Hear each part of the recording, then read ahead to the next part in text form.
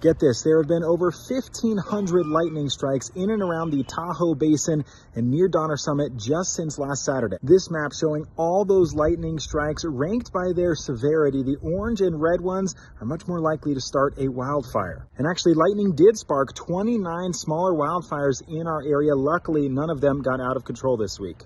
But now there is new technology that is helping fire crews all across our region. This is from the Fire Neural Network. It is an AI sensor. This one is at a Truckee Fire Protection District station here. It's obviously got the solar panels, the battery storage, a Wi-Fi router so they can be completely off grid. There are eight of them now installed all over the Lake Tahoe basin and they can detect a lightning strike, rank it based on how likely it is to spark a wildfire and send a notification to fire agencies within 40 seconds. The goal being that fire crews can respond to those lightning sparked wildfires, which can be in steep, rugged, hard to access areas much quicker than if they were waiting for someone to call 911.